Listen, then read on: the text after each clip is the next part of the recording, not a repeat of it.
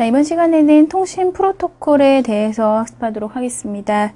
어, 지난 시간까지 우리가 정보 통신에 대한 방법들과 그리고 개념들, 기기들과 어, 그리고 정보 통신에 사용되는 회선들 종류들에 대해서 쭉 알아보셨는데요. 자, 그 어, 정보통신과는 별도로 여러분들이 통신 프로토콜에서는 이 프로토콜의 개념과 예, 그리고 OSI 계층, 그 7계층에 대해서 학습을 하게 될 거고요. 예, 이러한 프로토콜을 제정한 그런 표준한 기구들에 대해서 예, 학습해 보도록 하겠습니다. 자, 가장 먼저 프로토콜이 무엇인지에 대해서 먼저 보도록 하죠. 자, 우리가 프로토콜이라고 하면은 어, 통신 규약이라는 의미입니다. 즉, 어, 통신 시스템 상에서 개체 간의 정확하고 효율적인 정보 전송을 위한 이런 규약들을 통신 프로토콜이다라고 정의를 할 수가 있겠는데요. 어, 우리가 통신을 하기 위한 약속이라고 보시면 되겠고요. 어, 이때 통신 프로토콜을 구성하고 있는 기본 구성 요소로는 네, 먼저 구문, 그리고 의미, 그리고 타이밍으로 나눠서 볼 수가 있겠습니다. 자, 가장 먼저 구문은 데이터의 형식이나 또는 부호와 및 어, 신호 레벨 등을 규정을 하고 있습니다. 자, 그리고 의미는 각 비트의 의미를 나타낸다라고 했는데요. 어, 해당 패턴의 해석과 해석에 따른 전송의 조정이나 그리고 오류 제어를 위한 제어 정보에 대한 어, 규정이 되겠습니다. 자, 타이밍은요, 접속되어 있는 개체 간의 통신 속도의 조정, 그리고 메시지의 순서 제어 등을 규정을 하고 있는데요. 이 세 개가 음, 통신 프로토콜에서의 기본 구성 요소다라고 보시면 되겠습니다. 그래서 어, 구문, 의미, 타이밍 이 세 가지의 요소들만 여러분들이 정확하게 기억하고 계시면 되겠고요. 자, 통신 프로토콜의 기능으로는요, 첫 번째로 단편화를 들 수가 있겠습니다. 어, 즉, 응용 개체가 데이터를 메시지 단위나 또는 연속적인 stream 형태로 보내게 되면은, 어, 낮은 계층에서는 이 데이터를 같은 크기인 작은 블록으로 분할하는 예, 그러한 작업이 단편화다라고 볼 수가 있겠는데요. 어, 즉, 이 단편화라고 하는 것은 통신망에서 수신할 수 있는 데이터 크기가 제한되어 있기 때문에 작은 블록으로 분할을 해서 수신을 하겠다라는 것에 이유가 있겠고요. 자, 그리고 프로토콜 데이터의 단위 크기가 작아야지 어, 오류 제어가 편리하다라고 했습니다. 그리고 작은 버퍼의 사용이 가능하다라고 했는데 예, 버퍼라고 하면 우리가 일시적인 기억 공간으로 볼 수 있겠습니다. 그래서 너무 큰 규모의 데이터가 들어오게 되면 저장 공간도 그만큼 늘어나야 되고 낭비가 심해진다라는 것이죠. 그래서 버퍼를 줄이고 그리고 오류 제어를 편리하게 하기 위해서 단편화를 어, 하게 됩니다. 자, 그리고 전송 설비를 공유할 때에 적은 시간으로 공정하게 접근할 수 있기 때문에 역시 단편화, 어, 통신 프로토콜의 기능 중에서 단편화라는 기능이 있는 거고요. 자, 두 번째 프로토콜의 기능으로 재합성을 들 수가 있겠습니다. 이 재합성이라고 하는 것은 단편화의 반대 과정이 되겠습니다. 그래서 어떤 계층에서 단편화해서 보낸 데이터를 어, 상대방의 대등한 계층에서 받아서 결합하는 기능이다라고 했는데요. 조각이 난 블록들을 다시 하나의 데이터로 맞춰주는 예, 결합하는 그런 기능이 재합성이다라고 했고요. 자, 세 번째로는 캡슐화 기능이 있습니다. 즉 데이터의 정보를 어, 데이터의 제어 정보를 첨가하는 과정이다라고 했는데요. 이때 제어 정보는 주소 그리고 오류 검출 코드 그리고 프로토콜 제어 등이 있습니다. 그래서 이러한 것들을 첨가하는 캡슐화라는 과정도 역시 프로토콜의 기능이다라고 볼 수가 있겠습니다. 자, 이때 제어 정보에서 주소와 오류 검출 코드는 앞서서 여러분들이 학습하신 어, 정보통신 부분에서 한 번 더 보시면 되시겠고요. 자, 네 번째로 연결 제어 기능입니다. 한 개체에서 다른 개체로의 데이터를 전송하는 기능이다라고 했고요. 자, 이때의 과정, 연결 제어 과정은 연결 확립, 그리고 데이터 전송, 그리고 연결 해제의 이 과정으로 구성이 되겠습니다. 자, 그리고 프로토콜의 다섯 번째 기능은 흐름 제어 기능입니다. 즉, 전송된 데이터를 수신하는 개체가 근원지로부터 송신되는 데이터의 전송량이나 그리고 전송 속도를 제한하는 기능도 역시 프로토콜에서 하고 있고요. 자, 그리고 오류 제어, 즉 전송 중 발생 가능한 오류를 검출 그리고 복원하는 건 마찬가지고요. 자, 그리고 일곱 번째가 동기화 기능인데요. 자, 동기화라고 하는 것은 두 개의 프로토콜 개체가 동시에 명확히 정의된 상태, 즉 초기화 상태, 검사점 상태, 그리고 종료 상태를 의미한다라고 되어 있죠. 자, 이 동기화 기능은 이 시작 순간의 체크 포인터의 기능 그리고 통신 종료의 수행과 같이 어, 두 개체가 같은 상태를 유지하는 것을 의미한다라고 되어 있습니다. 자, 그래서 어, 이러한 이 그 프로토콜의 기능들 중에서 마지막 여덟 번째는 이 순서 결정 기능이 있겠는데요. 예, 프로토콜 데이터 단위가 전송되는 순서를 명시하는 기능이다라고 했습니다. 그래서 이것은 연결 중심의 데이터 전송에만 사용, 사용된다라고 했는데요. 자, 이런 순서 결정을 하는 목적은 전송 중에 발생할 수 있는 데이터의 손실 파악, 그리고 흐름 제어, 그리고 오류 제어를 위해서 어, 데이터의 순서 결정이 필요하다라는 것이고요. 어, 이때 이 순서 제어는 어, 손, 송신 측이 보내는 데이터의 단위 순서대로 수신 측에 전달하는 방식으로 이루어집니다. 자, 그리고 어, 여기까지가 프로토콜의 8가지 기능에 해당합니다. 각각의 기능들이 무엇인지 예, 잘 기억을 해 두시고요.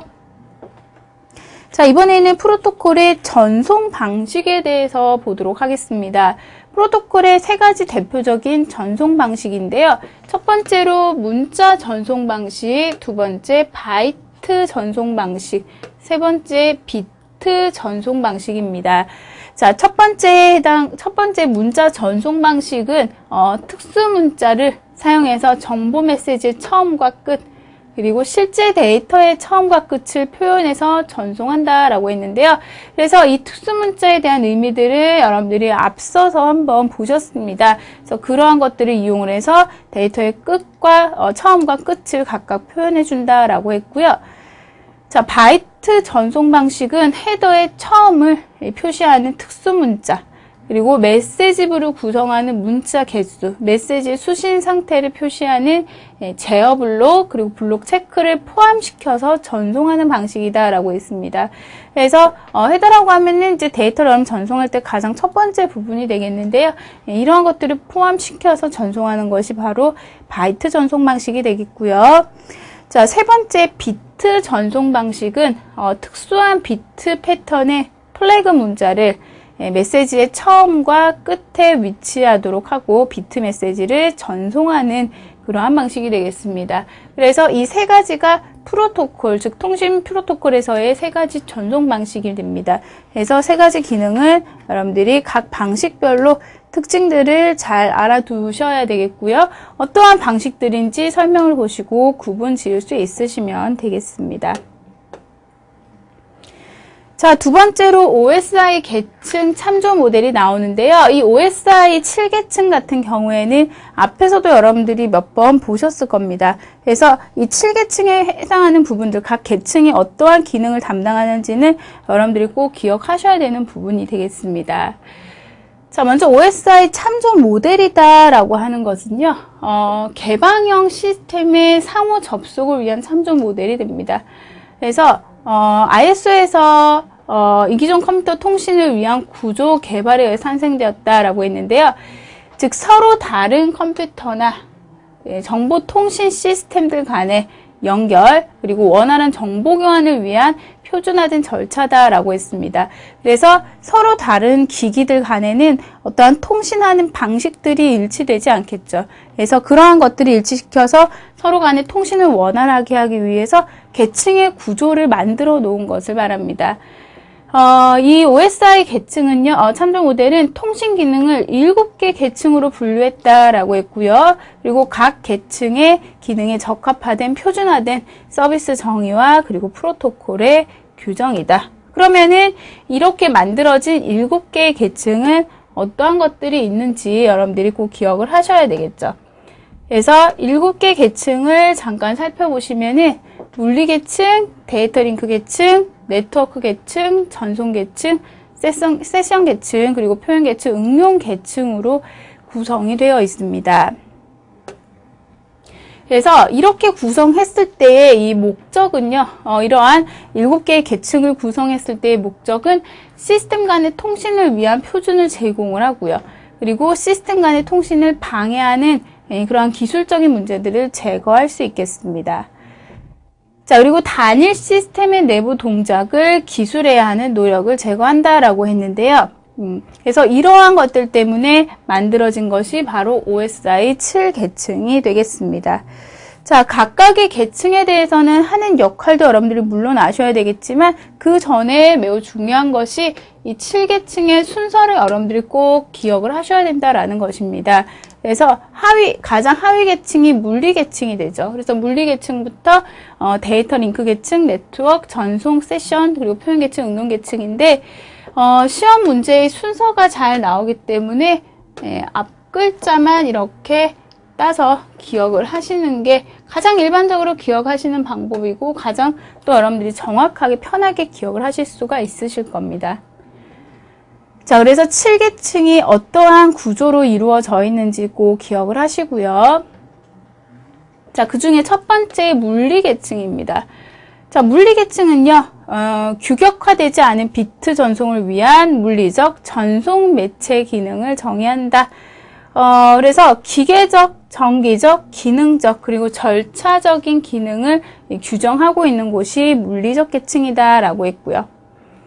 자, 물리적 계층 인터페이스로는 이런 이런 표준들이 있다라고 했는데 이 표준 에, 뭐 RS232C 그리고 V 시리즈 그리고 X 시리즈 같은 것들은 앞에서도 한번 보셨지만 어, 가장 많이 나오는 예, 그러한 인터페이스가 되겠습니다. 그래서 이런 표준들을 어, 어떤 것들이 있는지도 한번 눈여겨 보시고요. 자, 두 번째 계층에 해당하는 데이터 링크 계층입니다. 어, 이 데이터 링크 계층은 물리 계층에서 사용되는 전송 매체를 사용해서 네, 이웃한 통신기기 사이의 연결, 그리고 데이터 전송 기능과 그리고 관리를 규정하고 있습니다. 어, 그래서 이러한 데이터 링크 계층에서는 데이터 동기 제공이라든지 그리고 송수신 어, 단말 장치 간의 안전한 데이터 송수신 보장이라든지 프레임 형식, 즉 데이터를 여러분들이 보내실 때의 그런 예, 프레임들, 단위가 되는 프레임의 형식이나 순서, 그리고 전송을 담당하고 있고요. 자, 그리고 채널 제어와 접속 방식도 역시 데이터 링크 계층에서 담당하고 있습니다. 자, 에러 검출과 정정도 데이터 링크 계층의 역할인데요. ARQ 방식 앞서서 여러분들 한번 보셨던 방식이죠. 그래서 ARQ를 이용한 예, 에러 검출과 정정을 하고 있고요. 자, 그리고 흐름을 제어하는 것 마찬가지로 데이터 링크 계층입니다. 그리고 어, 이때는 HDLC 프로토콜이 사용된다라고 했는데 예, 앞서서 여러분들이 보신 그 프로토콜 중에서 HDLC 프로토콜이 사용이 된다라는 것이죠. 자, 세 번째 계층인 네트워크 계층입니다. 자, 이 네트워크 계층은 어, 말 그대로 두 네트워크를 연결하는 데 있어서 필요한 어, 데이터 교환 기능을 제공하고요. 관리를 규정한다라고 되어 있죠. 그래서 네트워크 계층의 어, 역할들은 먼저 시스템 접속 장비를 관리하고 패킷을 관리합니다. 자, 그리고 네트워크 연결 관리와 네트워크 addressing, 그리고 경로 배정, 자, 그리고 데이터그램 또는 가상 회선을 개설하는 것도 역시 네트워크 계층에서 예, 하는 역할이 되겠죠. 자, 다음은 네 번째로 전송 계층입니다. 어, 전송 계층은 다른 네트워크들의 종점 간의 신뢰성이 있고 그리고 투명한 데이터 전송을 기본적으로 제공합니다. 그래서 오류의 복원과 그리고 흐름의 제어를 담당한다라고 했는데요. 어, 종점 간의 인식과 그리고 흐름 제어를 담당한다라는 것이고요. 어, 다중화와 그리고 역다중화 그리고 네트워크 서비스 정도에 따라서 최적화를 결정한다. 즉, 어떠한 경로를 통할 것인지 네트워크 경로를 결정을 하고요. 그리고 에러 체크와 정정 역시 담당하고 있습니다. 자, 다섯 번째로 세션 계층입니다. 어, 세션 계층은 사용자와 그리고 전송 계층 간의 인터페이스다라고 했죠. 그래서 사용자 계층과 그리고 전송 계층의 사이에 있는 것이 바로 세션 계층인데요. 어, 종점들 간의 기본적인 연결 서비스 기능을 어, 서비스의 기능을 부과해서 어, 실제와 특성에 맞게 데이터를 교환할 수 있는 연결 서비스를 제공한다라고 했습니다. 그래서 어, 이러한 세션 계층은 연결 설정과 그리고 유지 및 종료가 에, 주로 세션 계층에서 일어나는 역할들이 되겠고요. 어, 그리고 대화 관리, 단방향이냐, 반이 중이냐, 전이 중이냐 하는 대화 관리와 그리고 메시지 전송과 수신, 강제 종료 및 재개 시 이러한 것들을 세션 계층에서 담당하게 됩니다.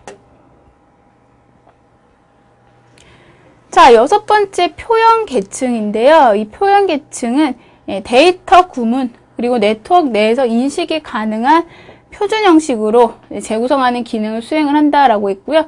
그리고 응용 계층으로부터 데이터 형식, 예, 문자나 정수를 받아서 자신의 어, 대등한 계층과 표현 형식에 관해서 협상을 한다라고 했습니다. 즉, 이 표, 어, 데이터들을, 데이터 구문들을, 어, 적정한 표현 형식으로 변경해주는 그러한 역할을 담당한다라고 볼 수가 있겠는데요. 예, 그래서 이런 표현 계층은 여러 종류의 구문표로 구성이 되어 있고, 예, 데이터의 재구성과 코드 변환, 그리고 구문 검색, 압축, 암호화 등등을 담당하고 있는 계층이 되겠습니다. 자, 일곱 번째 응용 계층입니다. 이 응용 계층은 OSI 어, 환경의 사용자에게 특정한 서비스를 제공하는 기능을 수행한다라고 했는데요. 즉 사용자 바로 아래에 있는 사용자에게 가장 예, 접근되어 있는 계층이 일곱 번째 해당하는 응용 계층이 되겠습니다. 그래서 정보 처리를 수행하는 응용 프로그램과의 인터페이스 그리고 통신을 수행하기 위한 기본적인 응용 기능을 제공한다라고 했는데요. 아래 세 가지 보시면은 먼저 사용자가 다양한 응용 프로그램을 이용을 할 수 있고 그리고 데이터베이스나 전자사서함을 이용을 할 수도 있도록 제공을 하고 있습니다. 자, 그래서 표준 서비스로 X 시리즈 그리고 FTAM 서비스를 사용을 할 수가 있습니다. 자, 그래서 여기까지가 우리 OSI 7계층에 대해서 보셨습니다. OSI 7계층 같은 경우에는 여러분들이 순서도 잘 기억을 하셔야 되겠고, 이 각각의 계층들이 하는 역할들도 역시 잘 기억을 하셔야 되겠습니다. 그래서 시험에 어, 이번 챕터 중에서 가장 많이 출제되는 부분이기 때문에 예, 방금 하셨던 것들 교재 다시 한번 보시면 잘 기억을 해두시고요. 자, 마지막 세 번째로 표준안에 대해서 보도록 하겠습니다. 자, 우리가 표준안이라고 하면은 에, 기본적으로는 이 통신에 관련된 어떠한 규약들을 말하겠죠. 자, 이러한 규약들을 정하는 표준안 제정 기구로서 가장 첫 번째로 먼저 ISO 들고 있죠. 자, ISO는 예, 국제 표준 기관으로 어, 이 기관에서 제정된 예, OSI는 예, 표준 개방형 통신망에 대한 제반사항 규정에 대해서 방금 보셨던 이 OSI 계층에 관련된 구, 어, 구조는 이 ISO에서 제정한 그러한 표준안이 되겠습니다. 자, 두 번째로 ITUT는 앞서서 여러분들이 몇 번 보셨던 예, 뭐 V 시리즈 그리고 X 시리즈에 대한 권고안이 제정이 된 기관인데요. 예, 전화 전송이나 또는 전화 교환 그리고 신호 방법 등에 관한 권고안을 제정을 합니다. 그래서 V 시리즈, X 시리즈 표준 규정안이 있다라고 했는데요. 예, 그 중에 첫 번째로 V 시리즈는 아날로그 통신에서 사용되는 이런 인터페이스를 위한 권고안이다라고 했고요. 자, X 시리즈는 데이터 통신에서 사용되는 인터페이스를 위한 권고안이다라고 했습니다. 그래서 어, V 시리즈, X 시리즈가 ITUT의 가장 에, 어, 대표적인 권관이라고 볼 수 있는데 뒤에서 다시 한 번 더 특징을 살펴보도록 하겠고요. 자, 세 번째로는 안시입니다. 안시는 어, 미국의 표준안 제정 기관입니다. 그래서 컴퓨터에 관한 대표적 표준인 아스키를 제정한 기관이다라고 했는데요. 이 아스키 같은 경우에는 코드, 즉 문자라든지 이런 코드에 대한 그런 어, 표준안이 되겠죠. 그래서 우리가 기본적으로 많이 사용하고 있는 그런 표준안이 되겠습니다. 그래서 이런 ANSI 표준화는 대부분 IEEE와 EIA 같은 관계 그룹과 함께 만들어졌다라고 되어 있고요. 자, 그러면 EIA는요, 어, 통신 조건의 표준화를 위해서 만들어진 예, 전자제품 생산업자들의 모임이다라고 했는데요. 자, S232 접속 규격과 그리고 이를 보완하기 위한 RS449 접속 규격을 제정한 기관이다라고 했죠. 자, 그리고 다섯 번째, 여섯 번째 기관들도 여러분들 한번 참고적으로 보세요.